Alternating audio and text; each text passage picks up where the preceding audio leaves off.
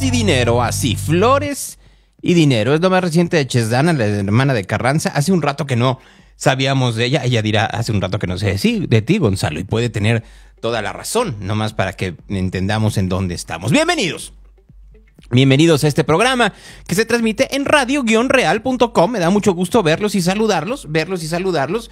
Me da mucho gusto que estemos todos aquí en Real a partir de este momento y hasta las 10 de la mañana. Radio-real.com en Radio Garden, en Claro Música, en los dispositivos Alexa. Ya saben que ahí nos escuchan un montón de gente en muchas partes del mundo. La, una parte importante es el área metropolitana de Guadalajara. Hoy revisemos en dónde, en qué dispositivo nos escuchan. ¿Les parece? Gracias a quienes nos escuchan en dispositivos Alexa, quienes están viendo en Instagram, en Twitter y en Facebook, ven ahí la lista completa. Saludos a Zapopan, saludos a Guadalajara, saludos a Artec. Salud, quien me quiere saludar, mire, me voy a dar un momento para decirles hola. A los dispositivos Echo, quienes estén en Windows, está eh, muchos, muchos dispositivos Echos en Sonos, en Windows, en Linux, en Android, en, eh, en Windows, en Claro Música, a través de un mm, de un teléfono celular Apple, a través de Echo, de Radio Garden, a través de Windows, a través de Windows, a través de un um, teléfono celular, esto va a ser Samsung, este, Windows, a través de Echo. Les digo que somos reyes en las bocinas inteligentes, porque la gente le gusta escuchar este programa y la música que ponemos en esta estación de radio a través de una bocina inteligente. Muchas gracias a todos los que están en iPhone, los que están en Android, los que están a través de las bocinas Sonos, los que están a través de Echo sobre todo. Gracias. Muchas gracias, muy buenos días. Desde Torreón, Gabriel Anguiano, buenos días. Hola, Bugarín Rocha. Hola, el Ellen. En fin, buenos días a todos. Buenos, buenos días a todos los que están con nosotros esta mañana aquí en Real. Más adelante hablemos de la muerte de el Toro Valenzuela, si me lo permiten. Eso será un poquito más adelante. Todavía no. Apenas vamos a entrarle al tema un poquito más adelante. Pero antes, vaya cosa, es lo que les puedo decir. Vaya cosa con Adán Augusto López. El día de ayer hubo una reunión de Morena. En donde estuvo Adán Augusto, estuvo Ricardo Monreal, estuvo eh, el señor Fernández Noroña, aunque no sea parte de Morena, estuvo eh, Ignacio Mier, da un repaso el legislador, estuvo Sergio Gutiérrez Luna y estuvo todo el mundo, ¿de acuerdo? Entonces estuvieron ahí en un hotel de la Ciudad de México. En ese hotel les dieron dos directrices, nada más para que vayamos entendiendo por dónde va. Entonces, una de esas directrices es tranquilos todos y nos alcance el pastel para todos. Y la segunda fue no se peleen. Porque ya vi que se están peleando por las comisiones en la Cámara de Diputados. ¿Tienen que hacer algo? Tienen que hacer algo para que ya se calmen los jueces. Porque los problemas con el Poder Judicial están durísimos y parece que puede avanzar la, eh, pues obviamente, la inconstitucionalidad de la reforma al Poder Judicial y les, les ocurrió una batea de babas mayúscula. Hacer una serie de modificaciones a la Constitución, entre ellas, una al artículo primero. Las normas relativas a los derechos humanos se interpretarán de conformidad con esta Constitución y con los tratados internacionales de la materia, favoreciendo en todo el tiempo a las personas la protección más amplia. Y le querían poner esto. Pero en ningún caso pueden ser inaplicadas por medio de control de convencionalidad, es decir, que en pocas palabras la constitución iba a estar por encima de los tratados internacionales y con esto trataban de que no pudiera avanzar la reforma del Poder Judicial, pero se llevaban de corbata, literal de corbata, gran parte de los derechos humanos que había en México. Porque entonces, oye, lo pueden seguir haciendo, porque tienen la mayoría. Si legislaban en contra del aborto, en contra del derecho a decidir en la Constitución, o si legislaban en contra de los homosexuales, o si legislaban en contra de la libertad de expresión, no iba a poder hacer nada nadie. No iba a poder ser impugnada, no iba a poder eh, tener ningún tipo de protección de nadie, porque era una reforma constitucional. Así lo expuso Adán Augusto López ayer. Artículo 105 son improcedentes las controversias constitucionales o acciones de inconstitucionalidad que tengan por objeto controvertir las adiciones o reformas a esta Constitución, incluyendo sus procesos deliberativo, legislativo y correlativa votación, así como aquellas que busquen controvertir las resoluciones o declaraciones de las autoridades competentes en materia electoral. Artículo 107 Las sentencias que se pronuncien en los juicios de amparo solo se ocuparán de personas quejosas que lo hubieran solicitado, limitándose a ampararlas y protegerlas, si procediera, en el caso especial sobre el que verse la demanda. Tratándose de juicios de amparo que resuelvan la inconstitucionalidad de normas generales, en ningún caso las sentencias que se dicten fijarán efectos generales. no procederá, termino, presidente, no procederá el juicio de amparo contra adiciones o reformas a esta Constitución, incluyendo su proceso deliberativo, legislativo y correlativa votación, así como aquellos que busquen controvertir las resoluciones o declaraciones de las autoridades competentes en materia electoral. Solo los chicharrones de Morena truenan, en pocas palabras. Lo que están escuchando ahí, lo que están escuchando ustedes de, desde esa forma, es que solo los chicharrones de Morena truenan. Ya se había mandado llamar para que efectivamente hubiera una reunión extraordinaria de las Comisiones Unidas de Puntos Constitucionales y de Estudios Legislativo, ayer a las 8 de la noche, para, para revisar esto. ¿Por qué? Porque era de enfriega, enfriega, enfriega, enfriega, tiene que salir lo que, lo que está pidiendo alguien alguien desde algún lugar. Mientras Ricardo, eh, perdón, mientras que Adán Augusto López decía eso en senadores, Ricardo Monreal lo apoyaba en diputados. No, tiene que ver eso nada. Hay jurisprudencia de la Corte sobre la retroactividad, que en el caso de reformas constitucionales no es observable. Oiga, entonces quedan totalmente eliminados. sí es el constituyente permanente y es la supremacía del órgano reformador. Diputado, ¿no están este, legislando tan anticipadamente que después se puedan arrepentir de lo que hacen? Porque no van a tener toda la vida la mayoría. ¿eh? Es cierto, pero mientras la tengamos vamos a ejercerlo con responsabilidad. Oiga, diputado, entonces... Con responsabilidad, dice eh, el señor Monreal. Yo no veo de dónde esté la responsabilidad en masacrar la la Constitución. Vean ustedes cómo dice, bueno, sí, el artículo 14 tiene eh, eh, impide la retroactividad, pero de todas maneras la vamos a ver cómo nos la cómo nos la saltamos.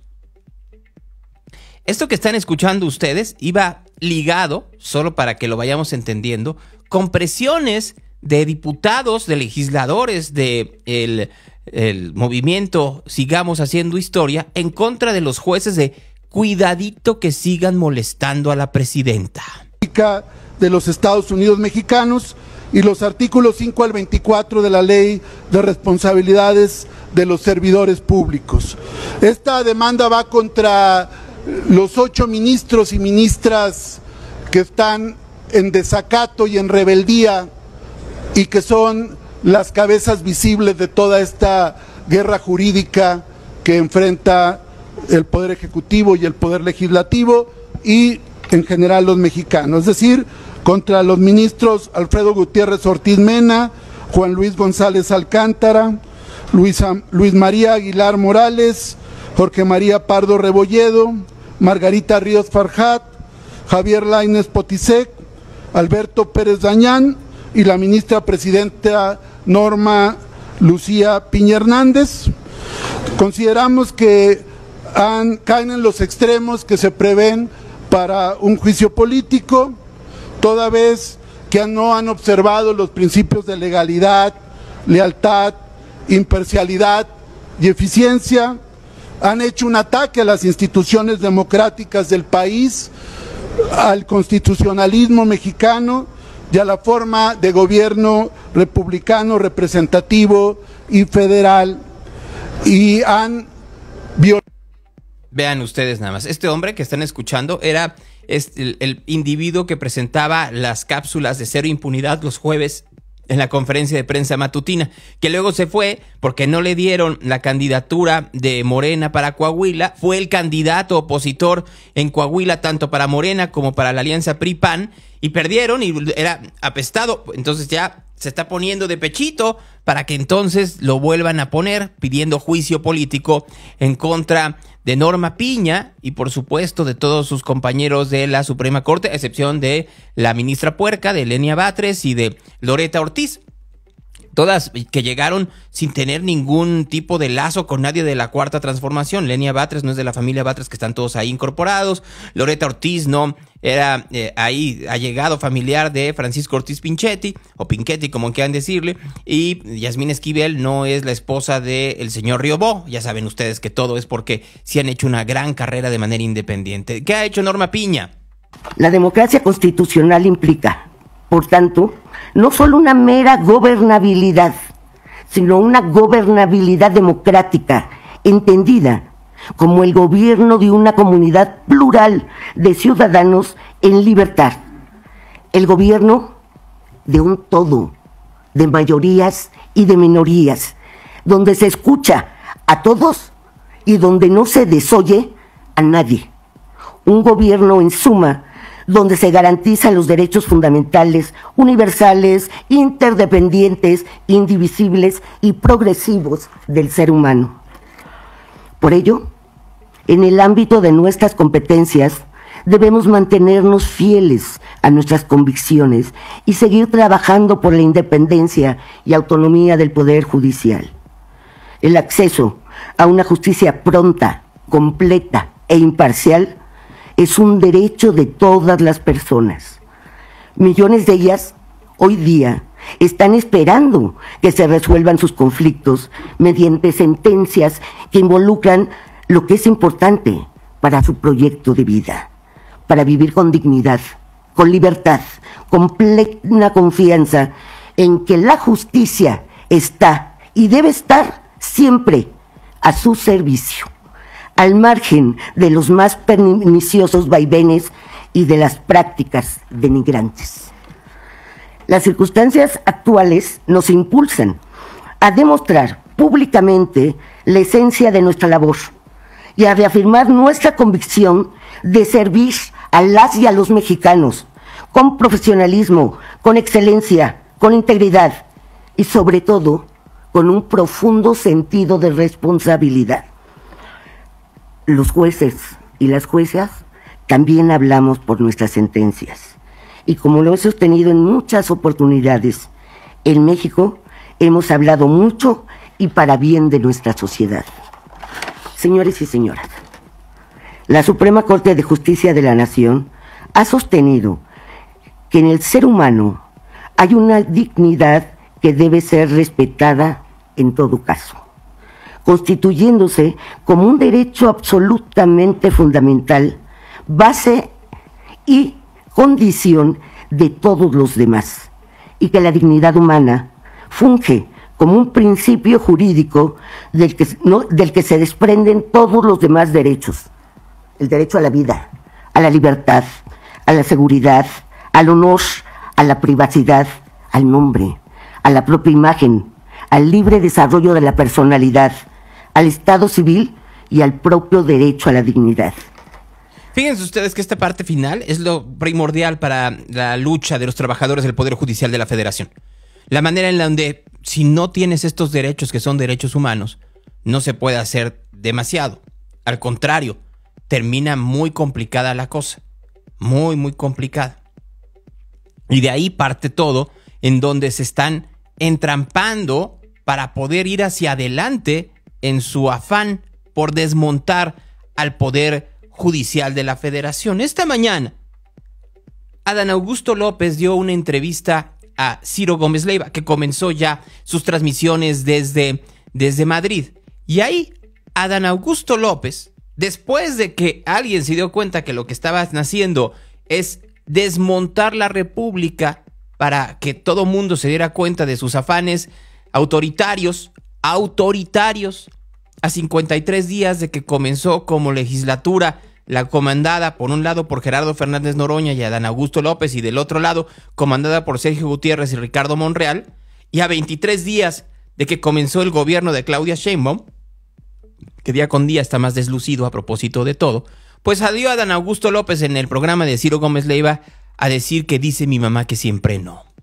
Ahora, hemos visto de que a pesar de que la ley de amparo en el artículo 61 creo menciona que la, el amparo no es procedente eh, contra reformas constitucionales o materia electoral, pues hay jueces, hay magistrados que han intentado, eh, como decimos en el argot jurídico, pues chicanear eh, el que pueda aterrizar la reforma judicial. Entonces, de lo que se trata es de, de que haya un reconocimiento expreso a lo que la Suprema Corte de Justicia de la Nación ha sostenido, en el sentido de que no se puede revisar la constitucionalidad de las normas consagradas en la Constitución. Pero, por ejemplo, hemos estado revisando en las últimas horas el texto que presentamos de la iniciativa y desde ahora te comento que vamos a presentar alguna modificación. Sí, mira, por ejemplo, anoche revisamos, eh, estuvimos estudiando si jurídica, políticamente era conveniente entrar en estos momentos en un debate eh, relativo a lo que habíamos propuesto en el artículo primero de la Constitución. Y una de las reservas que vamos a, a proponer y seguramente retiraremos es la propuesta en cuanto a la modificación del artículo primero de la Constitución, específicamente a la inconvencionalidad de las leyes. Esto es, nos vamos a limitar eh, al 103, al 105 y al 107 constitucional, a la reforma del Poder Judicial y vamos a, a retirar en el transcurso del día o en la reunión de la comisión esta mañana la parte que corresponde a la inconvencionalidad de la ley. Así como están escuchando ustedes, le echaron para atrás. Vamos a quitar, vamos a poner en reserva lo que habíamos dicho del artículo primero. Nos vamos a quedar con lo que tenga que ver con la reforma al Poder Judicial. Y son tan torpes, perdón que lo diga así, son tan torpes que están en pocas palabras diciendo que sí puede hacerlo la Suprema Corte de Justicia. Entonces, como sí lo puede hacer, quieren reformar la Constitución para que no lo pueda hacer. Cuando llevan semanas diciendo que no lo puede hacer. Entonces, ahora tienen que hacer una reforma constitucional para que no lo pueda hacer. Pero como además tenía esta parte en donde sí podría hacer la defensa a partir de eh, los derechos humanos, querían modificar el artículo primero y hasta que se les vino encima alguien y dijo, ¿están pendejos o qué? Si modifican el artículo primero, no solo vamos a tener problemas con la opinión pública y con la población, porque estamos quitando la defensa, los derechos humanos, defensa que se puso, no crean que hace mucho, durante este siglo, sino que también estamos violando los tratados que tenemos, como el TEMEC. ¿Qué están imbéciles? Pues uno tendría que buscar en esta foto de la reunión que les estaba diciendo de Morena, ¿quién habrá sido la persona inteligente que dijo vamos a hacer eso? ¿Será Dolores Padierna que está en esa fotografía? ¿Será Luisa María Alcalde? ¿Será Ricardo Monreal? ¿Sergio Gutiérrez Luna? ¿Será el señor Ávila que está por ahí, ahí metido? será, este, estoy buscando entre los que aparecen en esta bonita fotito, Gerardo Fernández Noroña, que está en primera fila, ¿Será esta niña cara de luna que está por un lado? ¿Será Andrés Manuel López Beltrán que mandó el recadito desde, desde donde se encuentra su papá? Porque no se encuentra en Palenque, porque ya saben ustedes que Chiapas no es un lugar adecuado. Vean ustedes cuántos muertos hubo ayer, 72 muertos en total en México, y entre ellos, pues a Chiapas no le fue nada bien. Este, ¿quién de los que está aquí en esta bonita foto, este, se le habrá ocurrido la idiota? Así, ¿a quién se le habrá ocurrido la gran idea que tuvo que recular a Dan Augusto López esta mañana? Aquí, ¿quién, habrá dicho por aquí tiene que ser? Pues quién sabe, porque luego se les ocurren unas cosas. Esta mañana, en la conferencia de prensa matutina, pues quisieron salir con una batea de babas. Miren ustedes. Ahorita Paulina va a hacer una. Fíjense, a ver, ¿dónde está la, se los voy a relatar. Llega una notificación a la Consejería Jurídica. Esa notificación de este juzgado de la jueza viene un texto y después dice, véase la notificación en este QR. Ahora, a ver, enséñales el QR.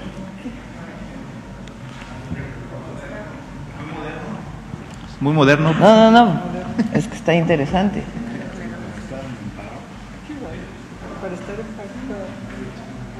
No manda a ningún lado. Muy rápido tiene que hacer. Aquí está. El QR ha sido eliminado. Entonces, ayer la Consejería Jurídica, Ernestina Godoy, la consejera jurídica, le pidió un notario,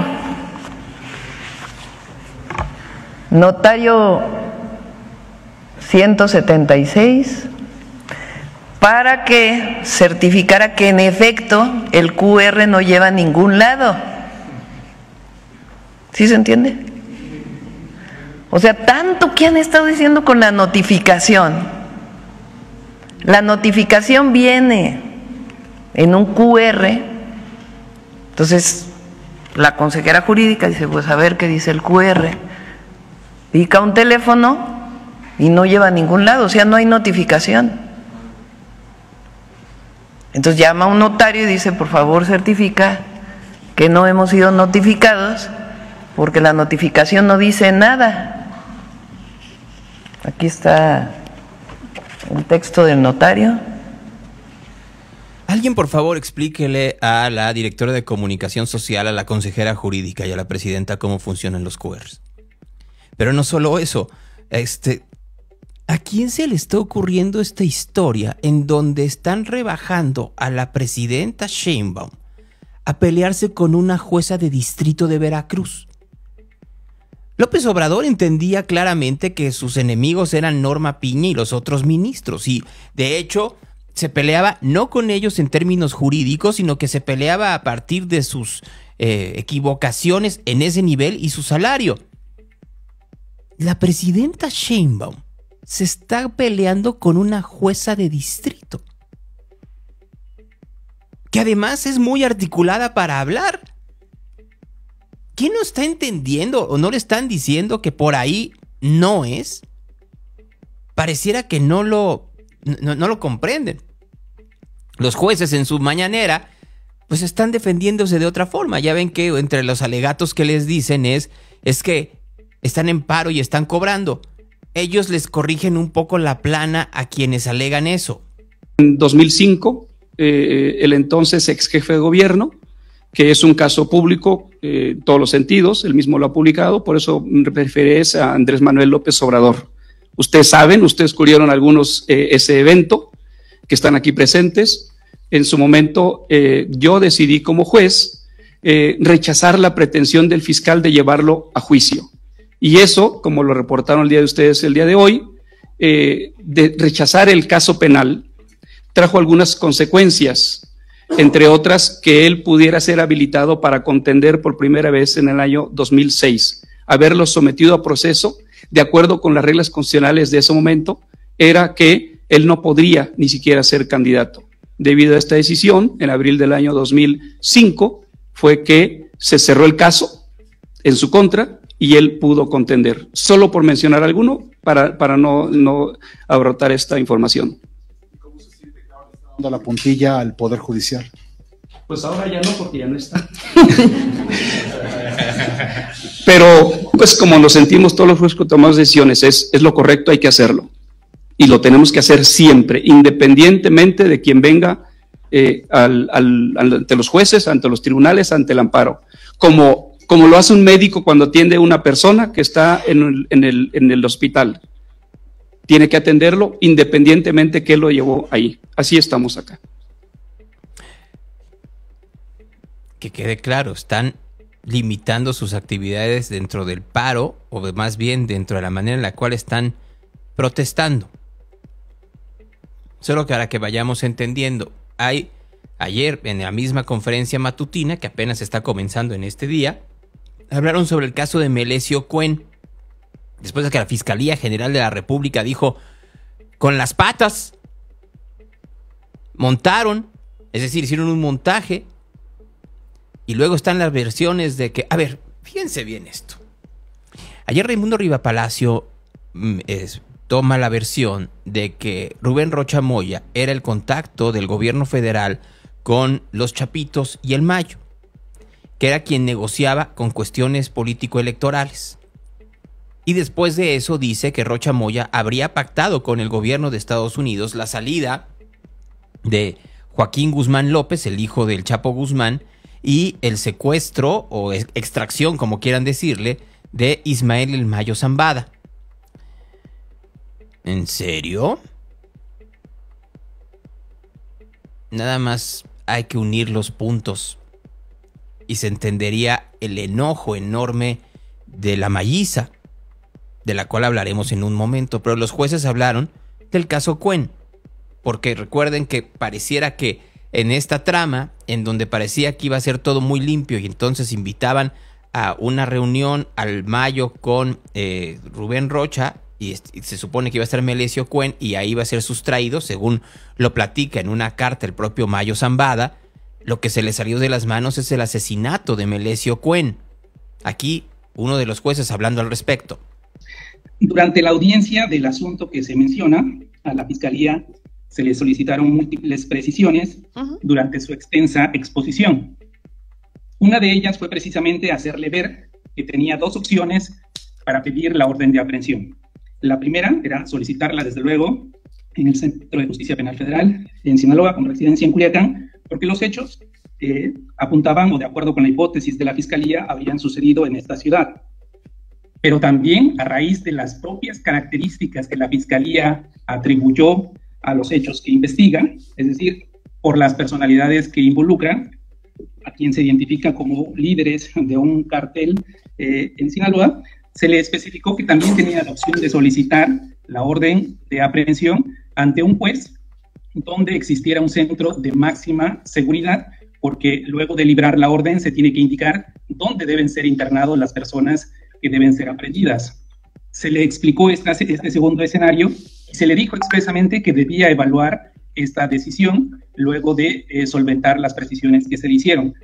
A raíz precisamente de las precisiones y de evaluar las condiciones en las que se encontraba su investigación, la Fiscalía decidió, como ya se dijo, retirar su asunto, desistirse de la solicitud de orden de aprehensión y eh, se le precisó precisamente que cuando solventara estas, eh, eh, las líneas de investigación pendientes, estaría en condiciones de evaluar si pediría la orden de aprehensión ante este mismo Centro de Justicia Penal Federal en Sinaloa con residencia en Culiacán o si... Pues sí, de hecho, la fiscalía de, Sinaloa dijo, no, están equivocados con lo que están diciendo. Sacó el día de ayer un documento en donde lo que decía la fiscalía es que no hubo ningún tipo de chanchullo en el caso Cuen. Quienes suscribimos el presente documento, trabajadores de, la Fiscalía General del Estado, Ministerios Públicos, Policías de Investigación y Peritos, participamos en la investigación de los hechos de la cual fue privado de la vida el ex rector Héctor Melesio Cuen, nos encontramos en la obligación de expresar nuestro desacuerdo con el comunicado de la Fiscalía General de la República, en el que se nos señala de haber realizado un montaje en torno al homicidio del ex rector. Lo negamos de manera rotunda, pues cómo no, porque si lo se descubre que efectivamente es así, se van a la cárcel todos. Estamos a disposición de la autoridad que nos requiera, tal que hemos, hemos acudido puntualmente. Reiteramos nuestro compromiso con la sociedad sinaloense para seguir cumpliendo con nuestra responsabilidad de manera honesta y profesional. Bueno, les digo que Culiacán es un hervidero, aunque Chihuahua y Guanajuato continúan muy puestos. Ayer por los, eh, por los, eh, los suelos, por los cielos de Culiacán, volaron estos volantes sinaloenses no descansaremos hasta entrar a Culiacán. Queremos poner orden y acabar con tanto abuso cometido por los chapos. Para esto necesitamos derrocar a este gobierno que los apoya. Pido comunicar este mismo número, y dan un número telefónico, cualquier abuso, corrupción, negocios y domicilios del gobernador, así como de sus hijos y gabinete que fungen como prestanombres. Como le dije, vamos a arrancar el problema de raíz, necesitamos sumar fuerza. Atentamente la malliza, MF que quiere decir mallito flaco. La guerra en Culiacán está totalmente abierta, pero es una guerra que continuará hacia todo el país. Los eh, eh, episodios como lo que sucedió el fin de semana en, en Chiapas con el sacerdote Marcelo Pérez tienen que ver con esto. A propósito, el día de ayer se dio a conocer el video del el asesinato del sacerdote Marcelo Pérez Pérez. Ahí se ve cómo va el sacerdote caminando por la plaza hacia su camioneta.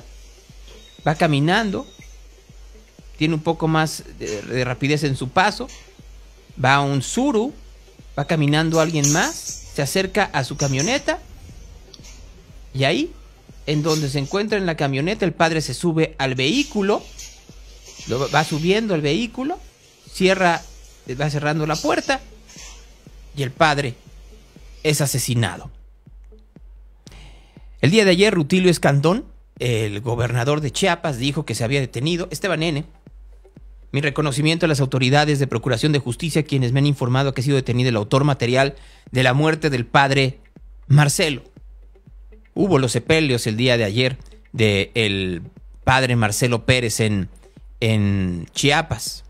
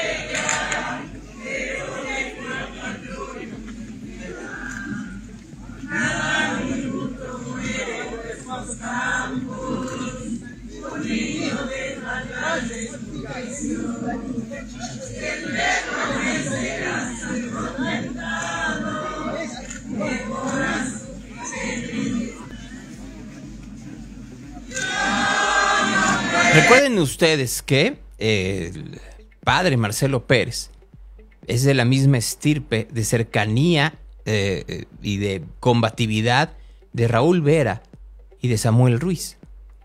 Era un sacerdote que no se dejaba y que efectivamente luchaba en contra de la manera en la cual había un trato injusto hacia los indígenas, comenzando por él, no solo por parte de los gobiernos estatal, local y federal, sino también del crimen organizado, que hoy en día tiene bajo su control a Chiapas, aunque Rutilio Escandón no lo quiera reconocer.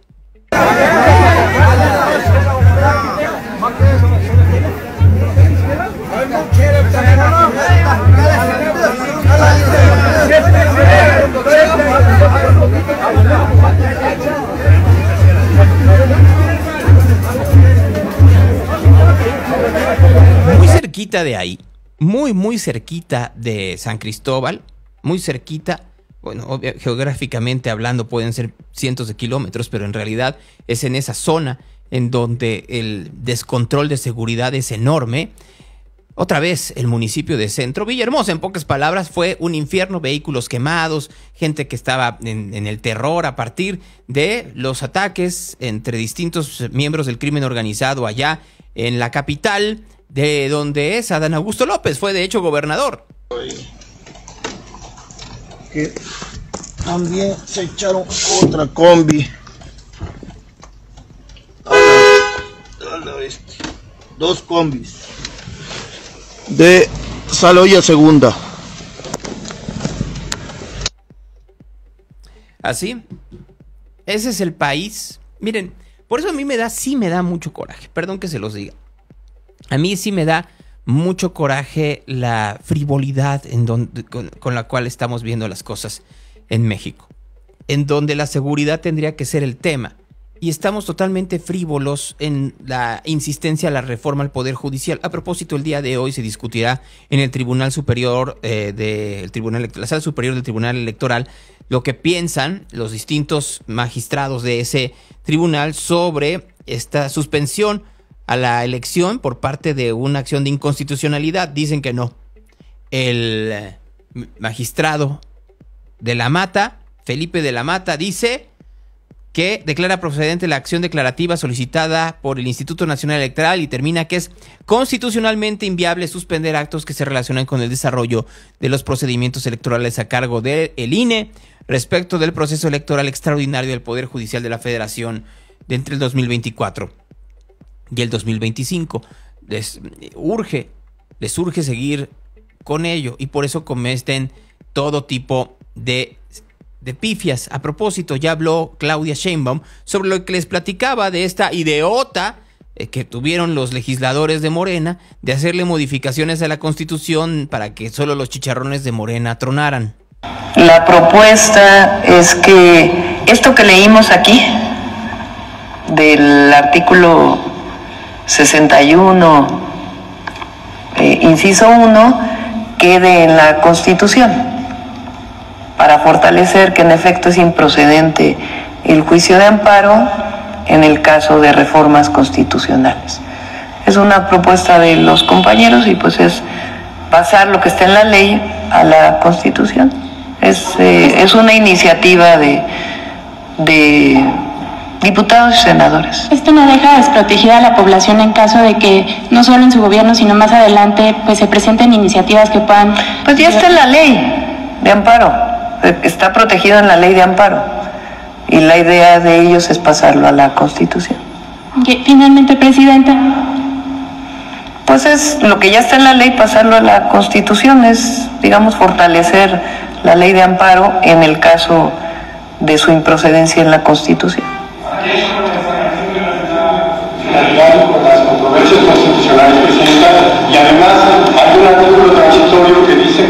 No, entiendo que esa parte la quitaron, que nada más queda esta parte de el artículo 61, inciso 1, que pase la Constitución. Las otras entiendo que ayer mismo la retiraron. Es lo que me informa la Consejería Jurídica. Pues le informaron mal porque todavía no pasa eso, pasa hasta el día de hoy, ¿no? Pero pues como tienen tanta organización, ahora no es suficiente. O sea, los cambios que van a hacer a la Constitución sí van a dañar efectivamente a los derechos humanos y a la población en general. O sea, sí hay un, una amenaza que se va a convertir en realidad al Estado de Derecho mexicano. Con eso pues, controlarán aún más el poder en el país. Dicen que por eso votaron. No, no creo que la gente haya votado por eso. Yo no creo que la gente haya votado por este tipo de locuras o por este tipo de diputados y pues sí, votaron por algunos diputados y por otros llegaron por representación proporcional, pero muchos terminan por ser realmente deleznables. Patricia Armendaris, que el día de ayer publicó un tuit que decía, me atrevo a sospechar que el crimen organizado ha rozado a la iglesia. El sacerdote asesinado en San Cristóbal, a decir de muchos, tenía bienes que no vienen de la limosna, menos de una comunidad tan pobre. O sea, mandando decir en pocas palabras que era como narco. La señora que no ve mal que haya familiares de políticos encumbrados que tengan una riqueza inexplicable, ya saben a quién me refiero, pero sí lo ven un sacerdote. Y entonces como el sacerdote efectivamente es asesinado en un estado que ella quería gobernar, que es Chiapas, y entonces se ve la incompetencia, la mediocridad, la ineptitud, la inestabilidad y el control que tiene el crimen organizado por encima del el gobierno estatal, quiere defender a Morena y al gobierno estatal, literal, revictimizando al sacerdote Marcelo Pérez Pérez. Horas después, reculó la diputada Lamento muchísimo que un tuit que pretendía arrojar información a los hechos ocurridos en Chiapas haya generado la opinión de que estaba acusando a una víctima. Pido una disculpa sentida a la iglesia y a sus familiares porque no fue mi intención, señora, no se haga estúpida. Bueno, lo es.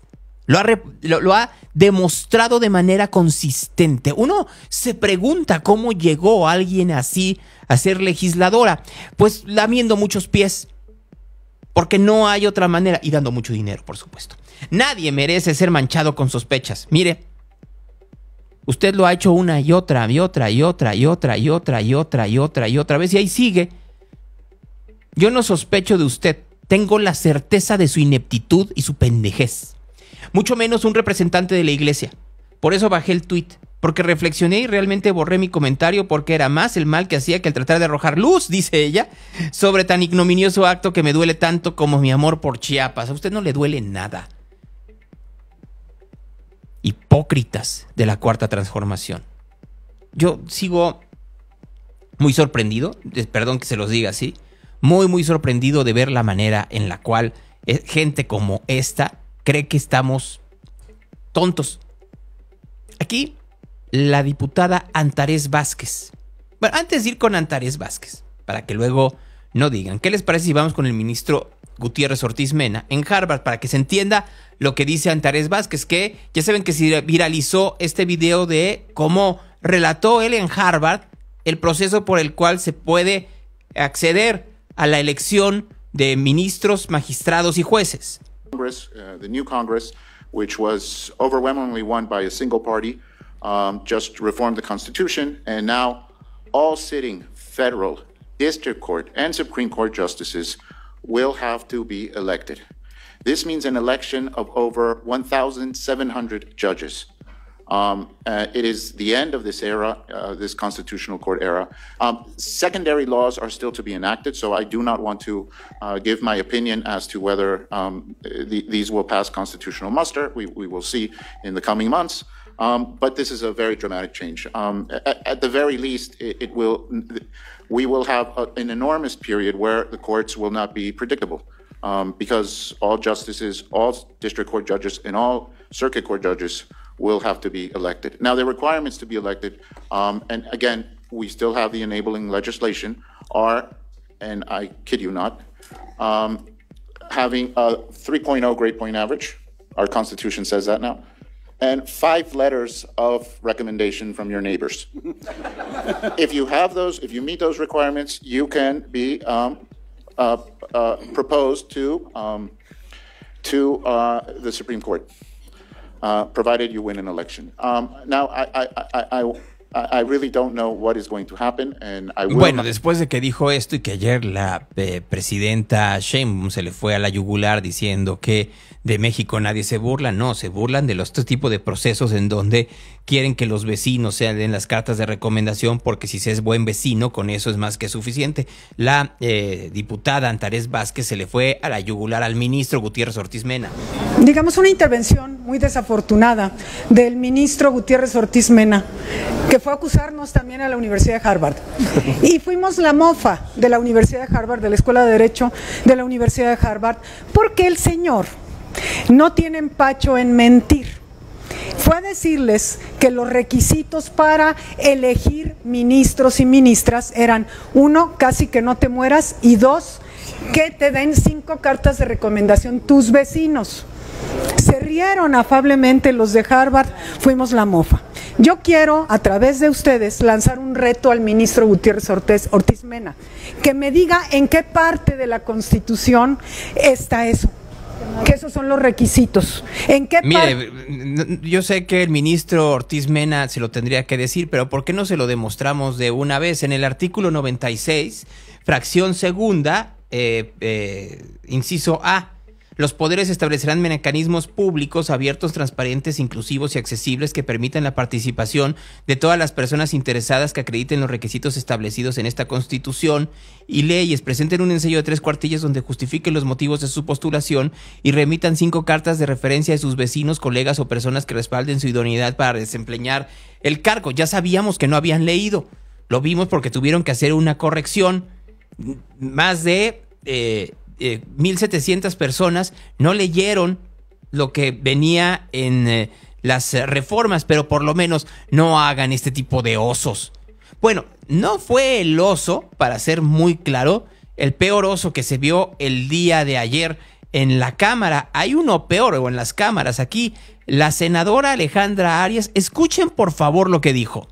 Las acciones está haciendo una reforma de este nivel una reforma que hace justicia a todas las mujeres que estamos aquí el día de hoy y a todas las mujeres que están allá afuera, que no tienen voz, que no tienen un micrófono para poder expresarse, a todas las niñas chiquitas que hoy se peinan con su cola de caballo, porque ellas son la presidenta de México.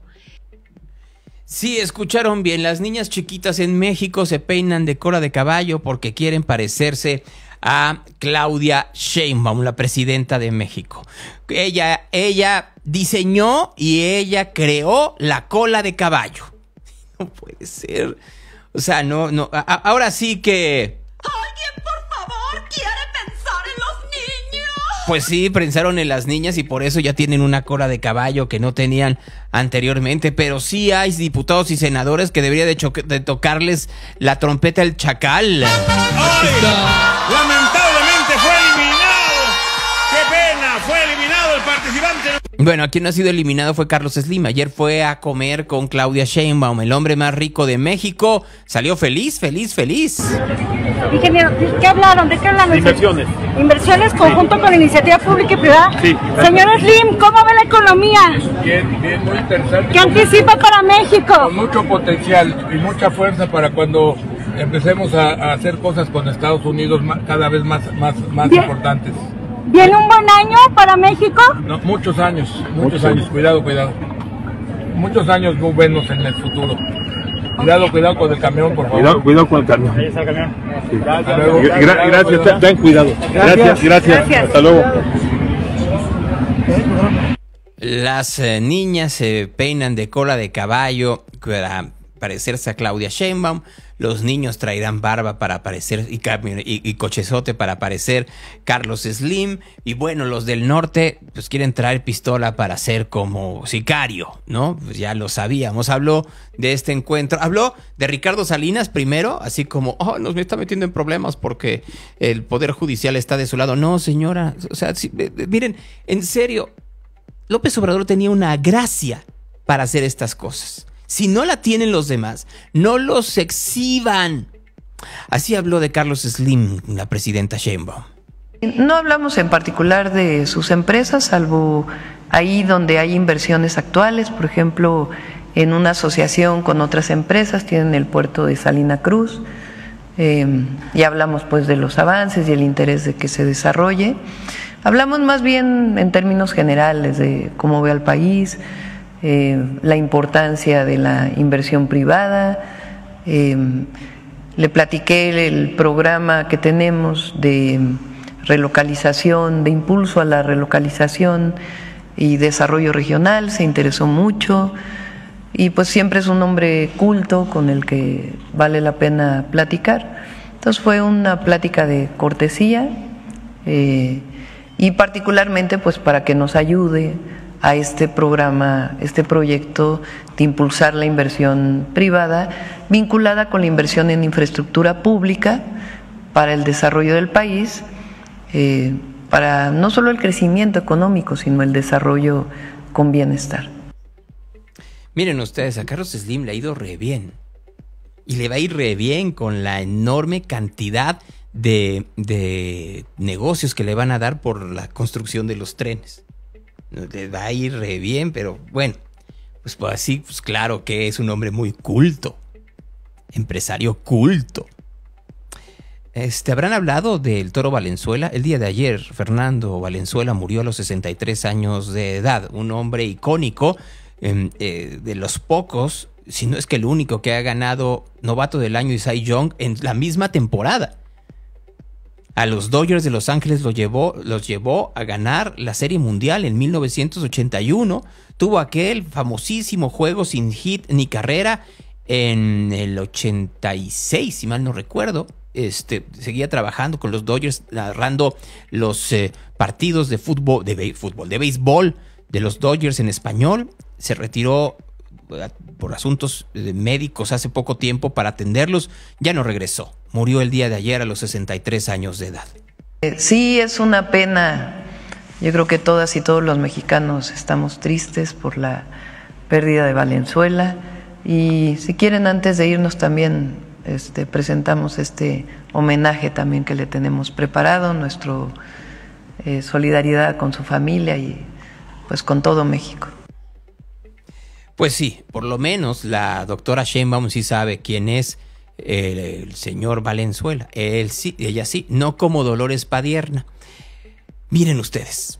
Diputado Carlos Castillo, desde su curul, ¿por- ¿con qué motivo? Presidenta, para solicitarle eh, si esta soberanía pudiera conceder un minuto de silencio en memoria de Fernando el Toro Valenzuela, quien se ha dado la noticia de que ha fallecido un mexicano muy reconocido en el área del béisbol y que puso en nombre en alto el nombre de México. Esta presidencia concede un minuto de silencio en honor a Camilo Valenzuela. Favor de Ay, perdón. Favor de ponerse de pie. Carlos Valenzuela. Camilo Valenzuela. Carlos Valenzuela. Dos comentarios. Es entendible que no se sepa de deportes. Yo no sé mucho de deportes, pero se le acaban de decir el nombre. Acaban de decir Fernando Valenzuela. Y la segunda, qué rápidos son para homenajear deportistas que se lo merecen, pero para evadir, evitar hablar de gente como Marcelo Pérez Pérez. ¿Por qué será? Conversaciones. Gracias a la gente en Facebook. Regresamos mañana. Mañana a las 8.30 de la mañana. Regresamos en Facebook para quienes nos vio y también la gente en Twitter. Mañana regresamos para que no haya duda al respecto. Y lo que vamos a hacer ahorita, si me lo permiten, voy a tener una conversación sobre eh, un eh, disco y que son de las cosas que bien, bien vale la pena el recuperar, el platicar y, y sobre todo homenajear a la gente que está pues ahí metida haciéndolo, que es obviamente acto y que es algo que se llama Día de Campo. Me da mucho gusto saludar a Abraham López, a Jorge Aguilar, a César Reinaga esta mañana que están con nosotros aquí en Real. ¿Cómo están? Muy buenos días. Buenos días, Gonzalo. Tal, A- a Gonzalo, gusto saludarte. Eh, me da mucho gusto verlos, o sea, aunque sea en, en camarita, porque además, eh, siendo muy honestos, los tres siempre están ya muy ocupados en, en un proyecto de vida que a mí, por lo pronto, me da mucho gusto ver cómo lo han crecido, la manera en la cual su eh, proyecto que tiene que ver con la música, no solo en la parte sobre el escenario, sino lo que tiene que ver detrás del escenario y cómo subir gente en el escenario, ha fructificado y que además ha ayudado enormemente a crecer la escena musical tapatía. Y eso, eso yo se los aplaudo. Sí, gracias. Pues, sí, eh, eh, exactamente, el escenario nos ha dado como, pues justo esas bases también para conocer qué pasa atrás, eh, ser más sensible a lo que pasa delante del escenario y, pues sí, al menos personalmente eso me trajo a ser este, no nomás músico, sino promotor.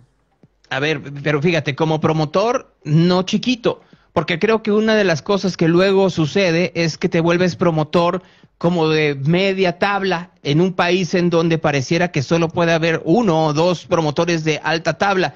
Y ustedes no se han dejado porque cada año, día de campo y lo que van ustedes eh, armando, van trayendo talento mucho más fuerte. Sí, sí, bueno, es, un, es un reto, es un, es un proyecto que, que, que requiere también de, de eso, ese, ese, esa apuesta por, por ir creciendo, porque también el público se lo merece, porque hay cosas que, que la gente quiere ver y, y eso nos, nos requiere siempre estarnos retando también como equipo de trabajo para, para buscar estos, estos talentos que claro, siempre, siempre es un poco un, tema de discusión que es grande, ¿no? Y que, que, vale la pena tener un escenario y, bueno, también por eso creo que tenemos una responsabilidad por un lado de, de, quién, quién, a quién buscamos y a quién ponemos en este espacio eh, y, y también está esta búsqueda por, por cada vez crecer más eh, la experiencia de día de campo. Me gustaría dividirlo en dos días de campo, porque por un lado está el talento, pero por el otro está la experiencia, y que eso creo que vale mucho de, de esta, em, de esta propuesta que están haciendo ustedes, en donde, en donde no solo es el artista que llevan, sino cómo organizaron, en dónde, bajo qué condiciones, cómo se la tiene que pasar el público que va. O sea, sí es todo, todo un happening que, que es hasta muy diferente a cualquier otro tipo de festival, de concierto, de recital, etcétera, etcétera. Totalmente, desde que se concibió de Campo fue con la intención de encontrar un lugar dentro de la ciudad que tuviera bondades de este pasto verde, lleno de árboles, que te sintieras como en un recinto natural, pero tampoco sin la aventura de ir muy lejos de casa. Y luego César tiene una frase muy que me gusta mucho de cómo describe la experiencia, que es este, pocas multitudes, muchos amigos. Entonces creo que es un espacio en el que sin, sin sentirte como en el abrume de esos grandes festivales, tienes como una experiencia este, pues, rodeada de mucha gente querida en tu ciudad, ¿no? Y como que es esta intención de no tenemos áreas VIPs, queremos que todo el mundo tenga como esta sensación de estar como en un evento como muy, eh, por así decirlo, como democrático, muy abierto para todos, eh, pero con una gran experiencia para todos, ¿no? Es- Eso, a ver, elegir es renunciar, perdón que, que los interrumpa, porque, pues sí, si no tienes áreas VIP, si está como un poco limitado y no quieres que haya tanta gente, pues también tienes que hacer el balance económico y tienes que hacer otro tipo de cálculos y cosas por el estilo. Y eso como empresarios también tiene sus dificultades. De Claro. acuerdísimo, Eh, pero ajá, al mismo tiempo siempre ha habido, creo que es un boleto muy económico. Prácticamente pagas lo que pagas por ver a un artista en un foro normal, pero por una experiencia de, de otro nivel, ¿no? Sí, y, y Sí, creo que en todos, ese sentido, perdón, Jorge. creo que todos este, en algún punto buscamos ese, ese tipo de, de festival donde no tengas que estar viendo la pantalla para ver a tu artista. Eh, si bien tú sabes, Gonzalo, que Guadalajara es una capital muy universitaria, entonces sí, el gran público de Día de Campo es universitario, pero justo está abierto y también a, a público más grande, porque es un evento que es bastante cómodo eh, y tiene como ciertos eh, consumos justo para, para gente un poco más exigente, también se puede decir. O sea, como que hay un poquito para todos. Y bueno, también me gustaría hablar un poquito de la parte social responsable más adelante. Pero perdón, César, dale. No, no, no, justo. Y, y abonando tu punto, creo que es el festival, y, al punto de Abraham, es el festival al que siempre quisimos ir, ¿no? El festival que queremos ir como asistentes, más allá de ese balance de que como empresarios eh, haya, haya que también empujar por las ventas y otros ingresos diferentes y, y que, y que sí, el, el presente de los festivales es muy complicado, de, de los eventos en general en, en, en la ciudad y en el país es muy complicado, pero, pero eh, estamos creyendo en este sueño y empujando por, por hacer el festival al que, al que queremos ir, ¿no? Al, del que queremos ser parte. Es que César, acabas de decir una cosa que además, pues, a, ver, el, el, a, a mí me preguntan mucho, a ver, ¿y por qué no traen a tal y tal y tal y tal y tal? Porque Guadalajara se ha convertido también en una plaza complicada para hacer festivales. O sea, por un lado los venues son complicados, por el otro la promoción se ha vuelto un dolor de cabeza, por el otro hay, hay, un, hay algo raro. Entonces, el atreverte a hacer un festival grande o pequeño, en donde traigas artistas grandes o pequeños, pues claro que siempre siempre es un riesgo. Entonces, sí veo, y lo reconozco en ustedes, esta parte en donde superan el miedo, se atreven y, termina siendo un ganar-ganar, tanto para la audiencia como para el artista, como para ustedes, porque si no fuera negocio no lo seguirían haciendo. Sí, un, po un, poco un y, y, y, el tema, y, el tema, de esto es se seguirlo haciendo, y siempre hacerlo y siempre creer, ¿no? O sea, el, el, el tema de hacer un festival es un, una carrera de, de largo aliento. Lo sé, lo sé. ¿Cómo fue? A ver, ¿cómo hacen la curaduría? A ver, ¿a quién se le ocurre? No, bueno, pues por eso, mira dónde estoy y bajo qué condiciones. Este, si por mí fuera, yo ya había hecho 400 festivales en los últimos seis años. Muy complicada la situación en un país en donde además te dicen que hay mucha lana, pero realmente no hay tanta lana. O sea, siendo muy, muy honestos, o sea, sí hay dinero para muchas cosas, pero no hay tanto dinero para poder ponerte como Sansón a las patadas en la parte del entretenimiento. Y eso me lleva a... Eh, ¿Quién fue el que dijo quiero traer a James Blake? O sea, ¿cómo, ¿cómo hicieron la curaduría? ¿Se sentaron en un café? ¿Fue a través de un WhatsApp? O sea, ¿cómo, cómo fue la situación? A ver, Bookers. Sí, por la, por la distinta... Estamos en diferentes ciudades a veces, eh, todos los socios con proyectos que nos mantienen pues muy vivos. Y justo no dudo que haya sido una gran conversación de WhatsApp, aunque le matemos todo el romanticismo al, a la acción. Pero creo que James Blake es alguien que en, que, en quien todos como que compartimos un gusto y como ese reconocimiento de alguien que pues no ha estado muchísimos años en México y que tiene pues, calidad internacional, o full, es un acto de otro nivel, ¿no? Entonces creo que eso nos motiva a todos y aprovechando que uno de los socios tenía buena relación con él por, por el pasado, este, fue como hicimos el, el acercamiento. Creo que al final es un balance también entre las cosas que nos gustan, por algo somos un grupo que tiene algo en común musicalmente. Es un balance en, las, los, eh, no cosas, más bien los proyectos, artistas, este, bandas que nos gustan, pero también lo que eh, hay, la parte difícil es monitorear a la ciudad, qué, qué, qué quiere la ciudad, qué, qué está buscando y, y, pues estar ahí nosotros también ofreciendo eso, ¿no? Y también que el artista esté disponible es, es todo un tema, ¿no? Pero Jorge, fíjate que acabas de decir algo que me llama la atención, porque es lo que esté buscando la ciudad, pero para el 30 de noviembre sí vas a tener un montón de, de, de población flotante, porque va a estar la FIL, sí. Y entonces es Phil Domingo.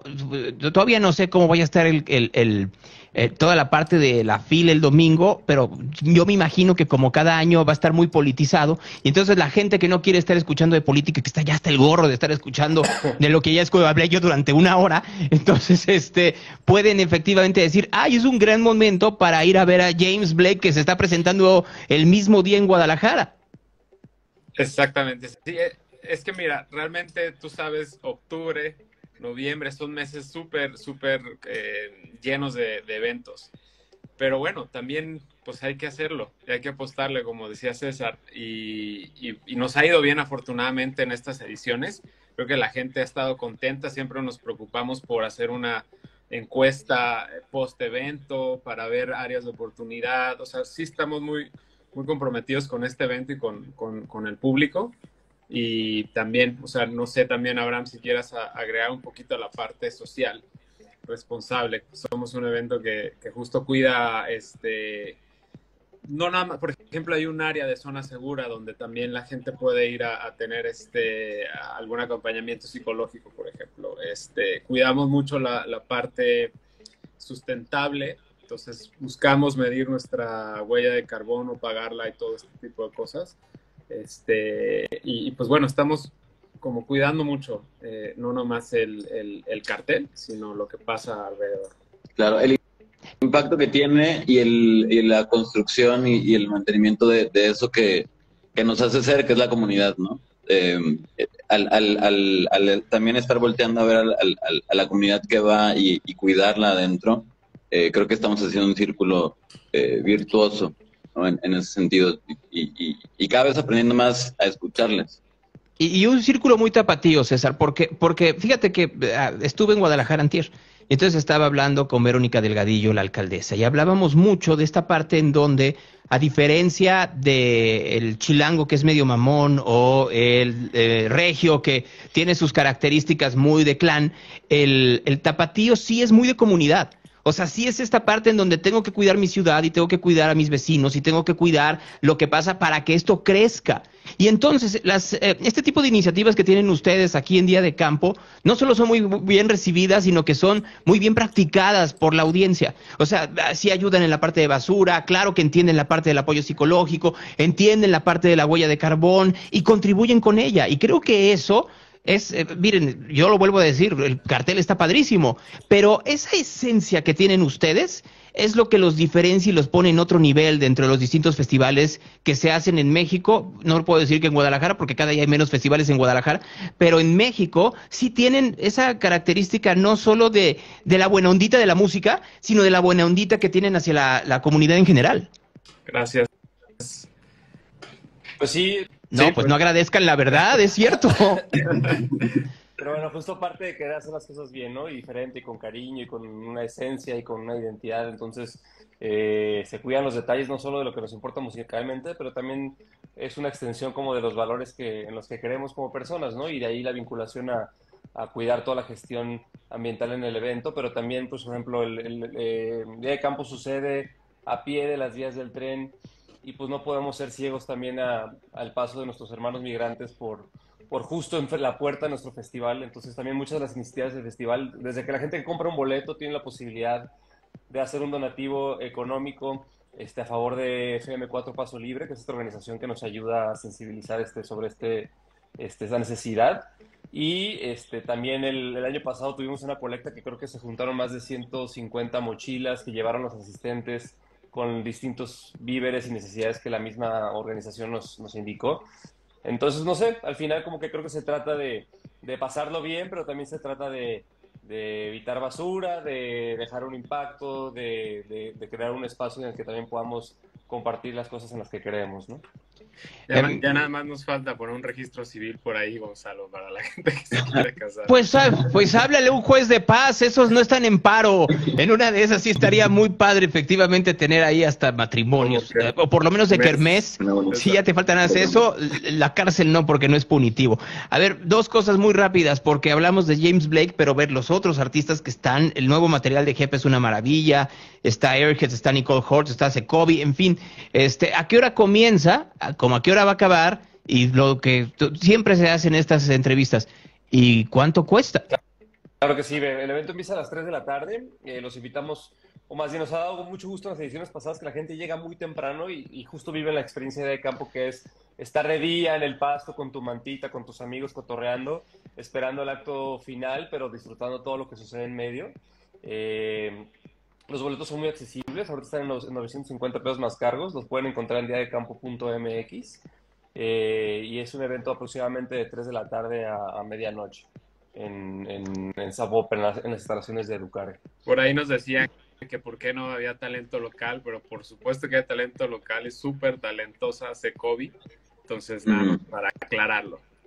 No, sí, a ver, eh, yo- aquí lo ponemos en real y yo lo vuelvo a decir, los cinco artistas que están hacen un ha- hacen una eh, combinación muy muy buena, muy muy buena. Yo les felicito, les felicito por por por la iniciativa que sigue creciendo, por el tesón para preservarlo y más importante, porque sí tienen esta eh, este llamado social a que la gente asista contribuya, participe y que quiera volver. Entonces, yo les aplaudo y miren, una, eh, pues lo tengo que decir, una gran coincidencia. Sí voy a estar el 30 de noviembre en Guadalajara, ahí nos vemos. Por supuesto que sí, te esperamos.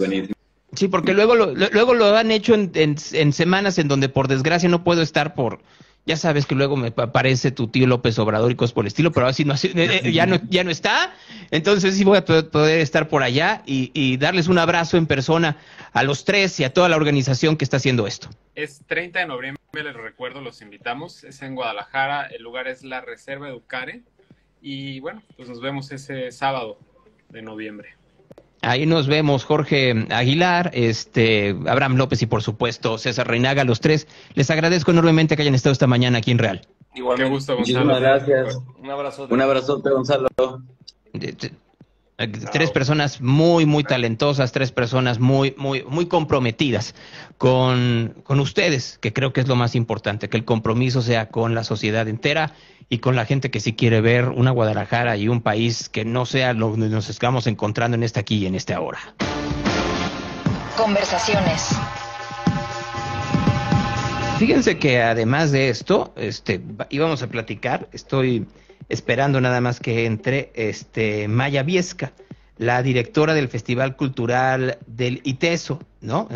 Me están diciendo que es desde la cuenta cultura.iteso, déjenme buscar la cuenta de cultura.iteso y si no, pues le voy pidiendo a Marco Vinicio que me pida, pues, eh, este, entrar y ya platicamos este de lo que trae él, él también, pues porque todo el mundo tiene cosas que decir en esta mañana. Pero bueno, estoy esperando a Maya Viesca a ver si ya está lista para hablar efectivamente del Festival Cultural del ITESO, que está, pues, les tengo que decir, muy puesto, muy listo, muy, muy claro, ¿no? Pues vamos a, a- ver si llega.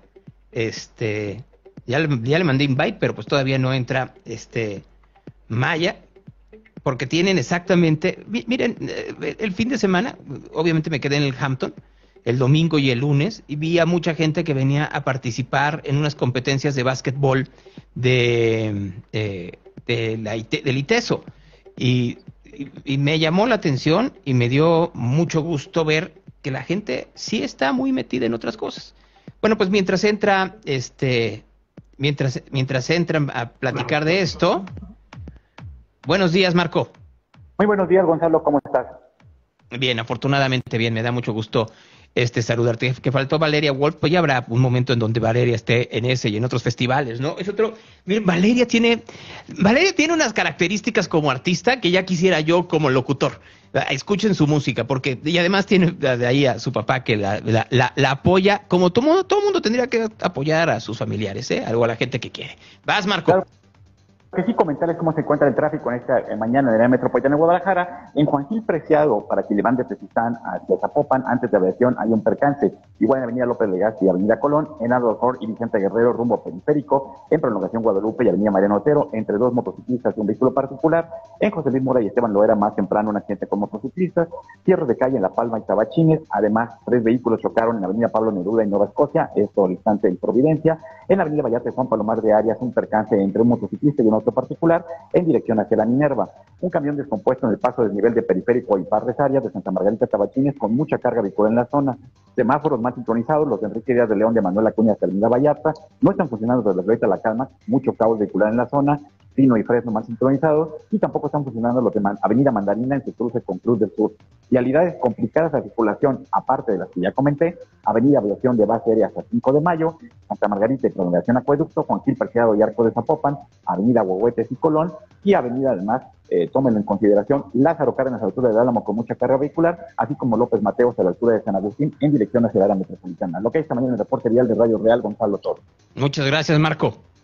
Gracias a ti, Gonzalo, un abrazo, cuídate mucho, cuídense mucho, si otra cosa no pasa, por aquí nos vemos mañana. Hasta entonces.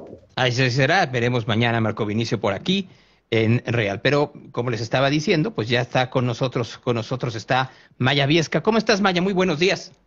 Hola Gonzalo, qué gusto.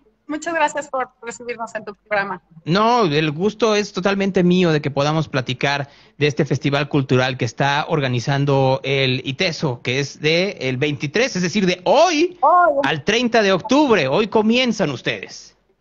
Comenzamos hoy, es toda la semana, de miércoles a miércoles. Es una actividad súper importante para la universidad, es el número 22 ya. Eh, y sobre todo porque no es solamente un espacio para los universitarios, para la comunidad universitaria, sino un espacio en donde el ITESO abre todas sus actividades culturales, que por lo general por, casi siempre están abiertas, pero en esta ocasión con mucha más intención, a toda la zona metropolitana de Guadalajara. Todas las actividades de acceso libre y gratuito. Me, encantaría saber una cosa, Maya, porque tengo la percepción de que hoy en día la comunidad del ITESO tiene unas eh, necesidades y tiene aficiones y tiene intereses muy distintos a los que había hace un lustro antes de la pandemia o los que había hace 10 años. Y, y la verdad es que en estos 22 años hemos ido viendo cómo la comunidad va cambiando y va, va mutando sus, sus formas de, de expresión cultural y sus consumos culturales, pero de la pandemia para acá todo cambió mucho más rápido, eh, mucho más, eh, digamos, mucho más diversificado, son muchas más personas con gustos más particulares y eso hace más complicada diseñar un programa para todos, pero al mismo tiempo también la gente tiene muchas ganas de participar, de reunirse, de estar con los otros eh, y de conocer cosas distintas. Entonces, bueno, este festival a eso le apuesta, a la diversidad, a poder asomarse a la producción cultural del, del país, eh, de aquello que nos circula por los circuitos comerciales y poder tener acceso a otro tipo de sensibilidades. Y este festival, una vez más, pues por ahí le quiere apostar. Es que veo, efectivamente estoy viendo el, el, el programa que, tiene unos eh, nombres muy divertidos, pero tienes de todo, o sea, tiene todos tipos de actividades, de talleres, tienes ahí eh, conferencias, pero mucha, mucha participación de, de los alumnos o de la gente que vaya. El festival está diseñado en cuatro, digamos, sobre cuatro ejes. Uno de ellos es eh, el de la participación universitaria. Hay actividades donde, donde, los propios estudiantes son los creadores. Por ejemplo, tenemos aquí montándose una exposición eh, de micro macro fotografía, que, de fotografías tomadas por los estudiantes, guiados por un super fotógrafo de naturaleza, Sony Alpha Partner. Eh, también tenemos un espacio en donde la gente va a poder hacer collage a poder trabajar esta técnica maravillosa, súper generosa, súper creativa. Eh, no lo había yo comentado, pero este festival tiene como línea, como, como, como tema, inteligencias y creatividad. Hemos abrazado esta, digamos, reciente popularización de, de la inteligencia artificial, pero no solamente ella, sino como esta diversidad de inteligencias que tenemos todas las personas y que necesitamos poner todos en juego con un montón de creatividad para afrontar esta vida tan complicada que se nos viene eh, día a día. Y bueno, estos son dos de los ejes. Un, un, tercero es el de tradiciones. La tradición no es algo del pasado, la, la tradición es algo que hay que mantener vivo, que hay que resignificar, que hay que apropiarse de manera frecuente. Y también el contacto con las expresiones artísticas y culturales de profesionales, de gente que se dedica a esto y a partir de, de las cuales pues tenemos este acceso eh, a mundos increíbles, maravillosos, eh, que, que, son lo que nos permite el arte, ¿no? Entonces, sí, sí hay mucha participación estudiantil, pero no solamente creaciones estudiantiles, sino eh, espacios en donde la comunidad puede participar, como por ejemplo la clausura, es una obra de teatro, un, un unipersonal bellísimo, pero en donde la comunidad se va involucrando y va también pudiendo expresar y reflexionar ah, en conjunto con, con el actor. Fíjate, es que revisando el programa veo efectivamente cosas muy interesantes, pero hay lo que me sigue sorprendiendo es esta parte en donde sí el alumno es lo central. O sea, nada de lo que está puesto en el, en, el Festival Cultural del ITESO funcionaría si no estuviera la comunidad ahí. Y no me refiero nada más a la comunidad del ITESO, sino a su comunidad de exalumnos y, por supuesto, de los interesados de lo que está sucediendo intelectual y eh, didácticamente dentro de la institución.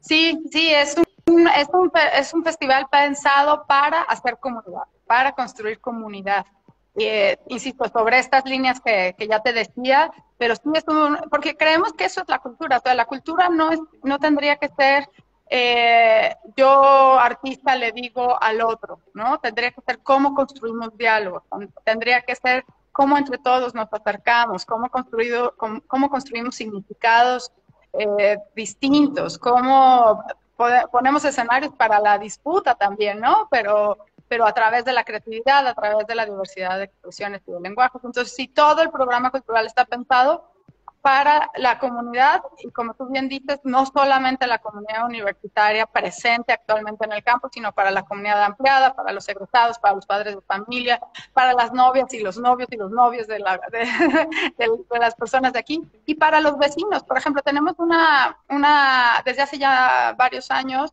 eh, uno de nuestros eh, proyectos tiene que ver con salir del campus, con hacer actividades en los barrios vecinos. Aquí tendremos también unos espacios de expresión en la colonia Partos de Santa María, que está aquí muy cerca del ITESO, y donde toda la comunidad puede participar, todo el conjunto de vecinos. Y también pues hay que recordar que como parte del, del está la Casa Itoso Clavijero, que está en la colonia americana, donde también tendremos actividades. El día de mañana la, la Cátedra Mágica de, Literatura con el escritor Alejandro Zambra. El siguiente martes la inauguración de una exposición increíble con una charla muy interesante sobre la relación entre la cocina, los recetarios y la pintura. Entonces, todas estas actividades eh, me encantaría como que eh, irles compartiendo, que están pensadas, como tú dices, para la comunidad para la comunidad ampliada y esperando que la gente se involucre, eh, claro, te divierta, pero también reflexione, ponga en juego su creatividad. Hay muchas cosas que, hemos pensado en donde la comunidad puede eh, ser parte.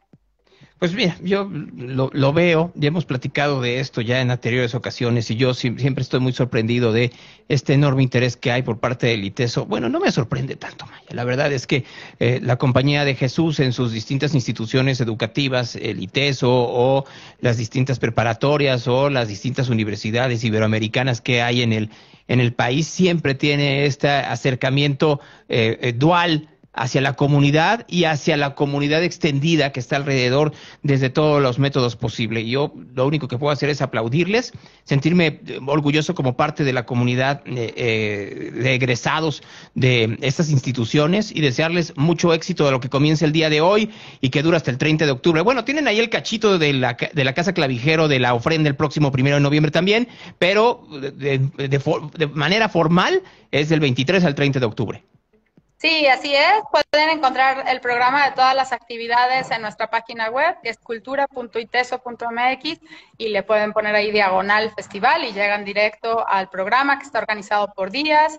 Eh, para los que no, no, son, no tienen credencial de egresado, de alumno, de personal, ahí pueden sacar sus boletos, son gratuitos, pero eso es lo que les permitirá acceder al campus. Y sí, como tú bien dices, esta es una de las formas en las que el ITESO y otras instituciones de la Compañía de Jesús ejecutan esta idea de estar comprometidos con, con, la sociedad, estar comprometidos con el entorno en donde están, parte de su compromiso social. Y pues ahora sí que qué mejor que hacerlo a través del arte y la cultura, ¿no? Que también es parte de la tradición muy fuerte de la Compañía de Jesús desde hace muchos años. Maya Viesca, eh, directora del Festival Cultural del ITESO, pues te agradezco enormemente que hayas estado esta mañana aquí con nosotros y pues nos vemos pronto. Pues muchísimas gracias, gracias Gonzalo, un saludo a todos y nos vemos en estos días por aquí. Gracias, buenos días. Sí, dense una vuelta. O sea, creo que tienen la gran oportunidad, si están en Guadalajara, de darse una vuelta. Y si no conocen de hecho el ITESO, es un buen día para que lo conozcan, ¿eh? porque sí tiene estas eh, cualidades que todos, todo aquel que por alguna razón este, nunca haya estado en una universidad de, la Compañía de Jesús, es un buen momento para que vean que, que mucho del prurito, del mito que hay alrededor, es fácil, pero muy, muy fácilmente erradicado. El Evangelio del día. Hablando de...